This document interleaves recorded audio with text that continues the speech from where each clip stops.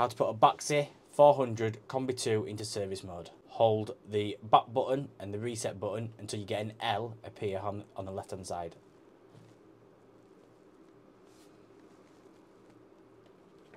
Once you get your L, you're now in service mode and you're in low power. Get your hot water control. Turn it once to the lowercase h, which is now in maximum. Turn it again to an uppercase H and you're in domestic hot water mode there.